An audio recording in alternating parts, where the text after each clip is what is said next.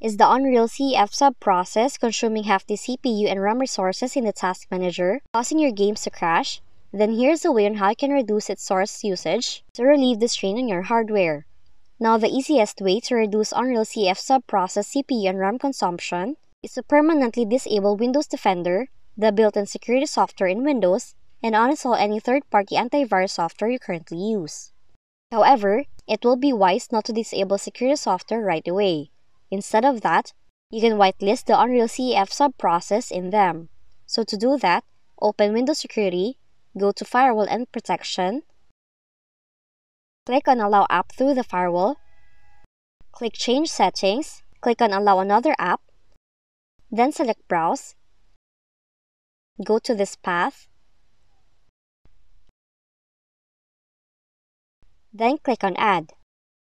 After that, check the public and private boxes next to the Unreal CEF sub-process, and then click OK. Once done, restart your computer after whitelisting this process. And that's how you can fix Unreal CEF sub-process high CPU and RAM usage on your Windows computer. If you found this video helpful, kindly like and subscribe. You may also click and turn on the notification bell so you can be notified from whenever we release new videos.